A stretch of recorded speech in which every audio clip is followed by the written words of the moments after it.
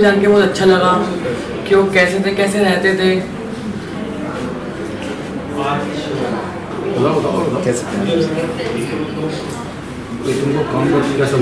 मुझे गांधी जी के रोल बहुत अच्छा लगा मुझे इस फ़िल्म में काम करके बहुत अच्छा लगा। बाकी मनीष सर ने और शकील सर ने मेरी बहुत हेल्प करी थी। एंड बाकी श्याम बाबू ने मेरी बहुत हेल्प करी। बहुत अच्छा काम किया इसने जी जी जी करके। कुछ हद तक डिफ़िकल्टीज काफ़ी थी क्योंकि जो उनकी एज है मतलब चौदह साल की उम्र में उनकी शादी हो चुकी थी। तो अ, मैं अभी एग्जैक्टली फोर्टीन हुई हूँ तो मेरे को जानना उनको समझना काफ़ी मुश्किलें आई। लेकिन सर ने शकील सर ने काफ़ी हेल्प की। फिर हमारे पास गूगल है मैंने उनको गूगल किया। बुक्स तो नहीं बोलूँगी लेकिन उनके बारे में फिर थोड़ा बहुत रिसर्च जानना शुरू किया जिन्होंने बड़ी कस्तूरबा का रोल निभाया मुझसे कुछ दिनों पहले ख़त्म हो गया था। तो मैंने उनसे भी कंसल्ट किया कि मैम आपने कैसे किया क्या किया। अ, तो कुछ हद तक डिफ़िकल्टीज आई हैं। जैसे जो डिलीवरी सीन था आपने देखा होगा वो सबसे ज़्यादा चैलेंजिंग था मेरे लिए। And yeah that's it we have got an opportunity कि अपने आप को पहली बार बिग स्क्रीन पे देखें। तो घूस बम्स आ रहे हैं but then yeah I am feeling happy about किया है हरीलाल गांधी जी का बड़ा लड़का था। और मैं भोपाल से हूँ इसका ऑडिशन भोपाल में दिया था और काफ़ी सारे आर्टिस्ट थे इसका ऑडिशन में, बाद में सिलेक्ट हुआ शॉर्ट लिस्ट में। और हरीलाल के कैरेक्टर के बारे में मैंने ये सुना था कि वो गांधी जी का अगेंस्ट रहता था, हमेशा अगेंस्ट रहता था, लेकिन बा के बहुत करीब था और बाप को बहुत प्यार करती थी। गांधी जी का बेटा बनना कितना प्राउड फील कर रहे हैं आपने कि उनके बेटे का किरदार निभाया, ये बहुत बड़ी बात है तो कितना प्राउड इसमें मैंने ये फ़िल्म में मैंने देवदास का कैरेक्टर किया है। तो सर ने मुझे ये बताया कि देवदास और वो बा का जो कैरेक्टर है, दोनों के बीच में बहुत बॉन्डिंग होना चाहिए। मतलब वो जो एक छोटा लड़का रहता है उसमें देवदास, गांधी जी के चार बेटे, उसमें सबसे छोटा लड़का है तो बा उसके उसमें इतना बॉन्डिंग होना चाहिए प्यार का तो मैंने कोशिश की है कैरेक्टर के, उसमें देवदास के कैरेक्टर उनमें से एक नाम फिर जी का भी इतना अच्छा प्रोजेक्ट हमारी बात कस्तूरबा में मुझे काम करने का मौका मिला। बहुत अच्छा लगा। तो गांधी जी के बेटे का किरदार बनना तो एक बड़ी चुनौती थी आपके लिए। तो इस कैरेक्टर को निभाने के लिए कितना आपने प्रैक्टिस किया? कितना आपने रिसर्च किया? इसके बारे में बताइए रिसर्च जैसे कि मेरे को टू बी ऑनेस्ट ये स्टोरी के बारे में उतना कुछ मालूम नहीं था।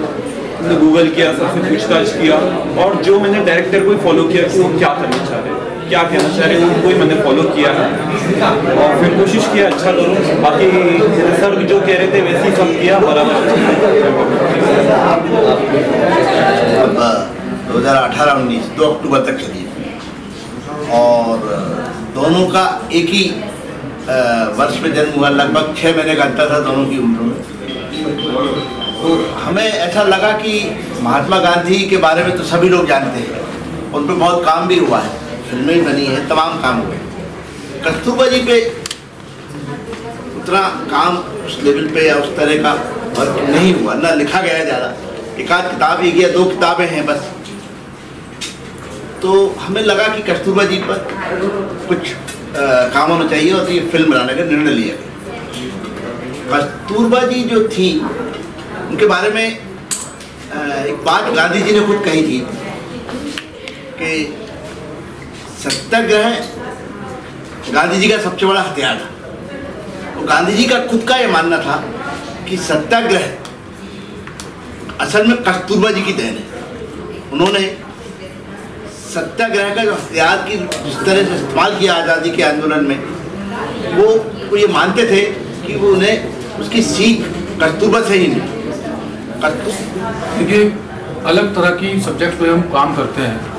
तो डिफ़िकल्टीज तो होती ही हैं। और एक बड़े नाम को अगर महात्मा गांधी, जिनको हिंदुस्तान और पूरी दुनिया जानती है, जब हम ऐसे किसी शख्सियत पे बात करते हैं या उनके लिए कुछ लिखते हैं, पढ़ते हैं या उनके लिए कुछ बनाते हैं तो बहुत ध्यान से काम करना पड़ता है। ऐसा मेरा मानना है। और फिर कस्तूरबा जी जिनके बारे में बहुत ज़्यादा लिखा नहीं गया, उनके बारे में बहुत ज़्यादा बताया नहीं गया, और उन्होंने कस्तूरबा जी ने गांधी जी को महात्मा गांधी बनाया, ऐसा मेरा मानना है। उन्होंने बचपन से लेकर अपनी मृत्यु तक गांधी जी के साथ कंधे से कंधा मिलाकर, चाहे वो फैमिली में, घर में, देश की आज़ादी में, महिलाओं का दलित, शोषित, पीड़ित, उन सभी के लिए कस्तूरबा जी ने बहुत काम किया। और कहते ना, महिला सशक्तिकरण, उसके लिए उनका बहुत बड़ा योगदान रहा।